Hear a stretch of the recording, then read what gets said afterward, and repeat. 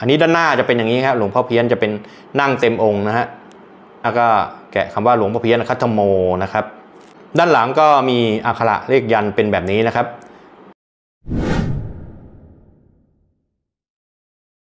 สวัสดีครับ ผมสอนอพระเครื่อง วันนี้จะนำวัตถุมงคลของหลวงพ่อเพี้ยนคัตโม วัดเกินกระถิน มาให้ท่านผู้ชมได้ชมและศึกษากันนะครับ เป็นวัตถุมงคลที่ติดรางวัลงานประกวด ที่โรงเรียนในร้อยสามพานเมื่อวันเสาร์ที่ 28 มกราคม 2566 ล่าสุดนี้เลยนะครับ ไปชมกันนะครับว่ามีรุ่นไหนบ้างนะครับ แล้วดูอย่างไรนะครับ ซึ่งพระชุดนี้นะครับเป็นของคุณธนิตศักดิ์แดนทองนะครับ ที่นำมาให้เราทำเป็นคลิปวิดีโอ ให้เราได้ชมและศึกษากันนะครับ ไปชมในคลิปกันนะครับว่ามีรุ่นไหนบ้างนะครับ ติดตามชมในคลิปนี้ให้จบกันนะครับ สวัสดีครับท่านผู้ชม ผมสอนอพระเครื่อง วันนี้ก็จะนำวัตถุมงคลของหลวงพ่อเพี้ยนคัตโมวัดเกินกระถิน มาให้ท่านผู้ชมได้ชมและศึกษา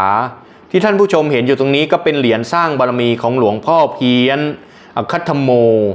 เป็นเนื้อเงินลงยาสีแดงนะครับ ติดรางวัลที่หนึ่งที่งานประกวดล่าสุดนะครับโรงเรียนในร้อยตำรวจอำเภอสัมพานนะครับเมื่อวันที่ 28 มกราคม 2566 เป็นผ้าที่สวยงามนะครับ แล้วก็หายากนะครับ เดี๋ยวไปชมรายละเอียดพร้อมกันนะครับนี่ครับลักษณะของเหรียญจะเป็นเหรียญทรงรูปไข่นะครับ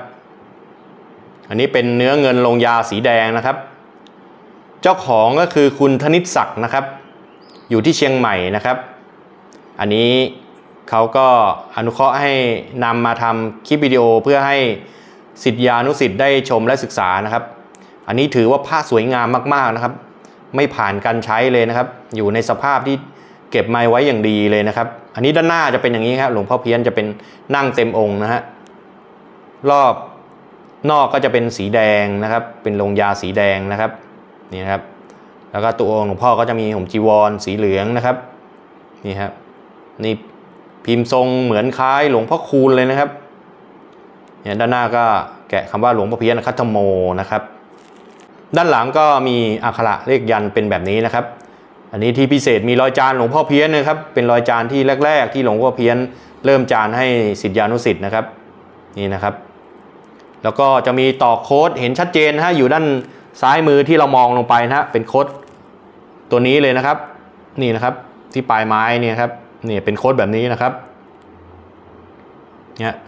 ด้านบนก็แกะคำว่ารุ่นสร้างบารมีนะครับนะ หนึ่งไตรมาสนะครับ วัดเกินกระถินตำบลบ้านชีอำเภอบ้านหมี่จังหวัดลบบุรีนะครับ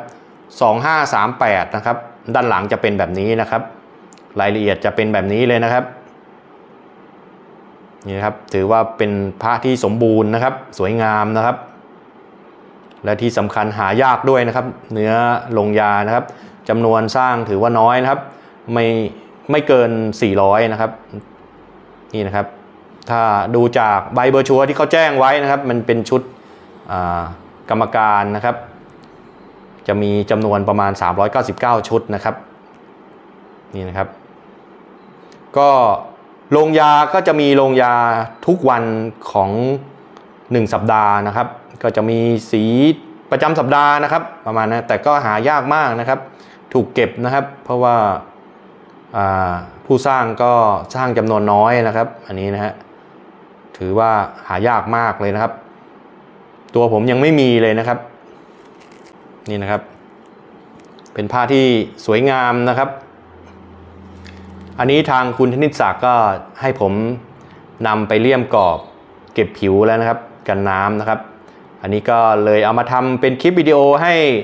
สิทธิานุสิทธิ์ได้ศึกษานะครับว่าพระของหลวงพ่อเพี้ยนนะครับมีความสวยงามแบบไหนนะครับรูปแบบ แต่ละทรงแต่ละปีนะครับ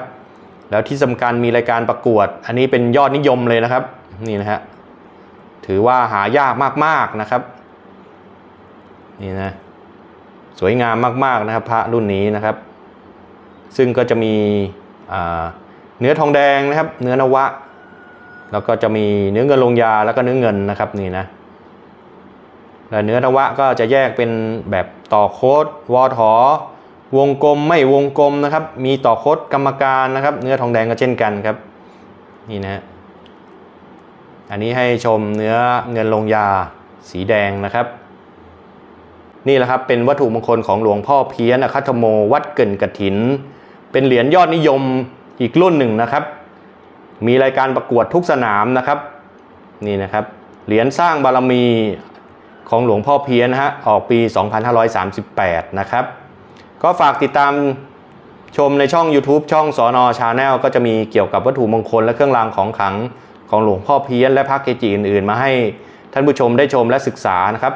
ฝากกดไลค์กดแชร์ กด Subscribe แล้วกดกระดิ่งแจ้งเตือนทั้งหมดด้วยครับ จะได้ไม่พลาดชมคลิปใหม่ๆในช่อง YouTube ช่องสอนอ Channelคลิปนี้ก็ขอบคุณมากครับ